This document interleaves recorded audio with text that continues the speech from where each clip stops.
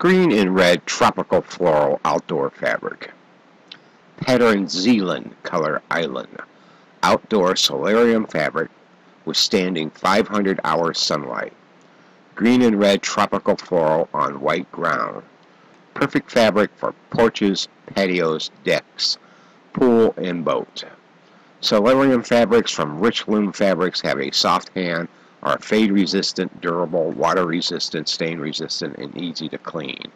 To maintain the life of the fabric, bring it indoors when not in use. Wipe clean with a damp cloth using a mild water-based shampoo or soap. Large pattern repeat, lightweight spun polyester, USA printed.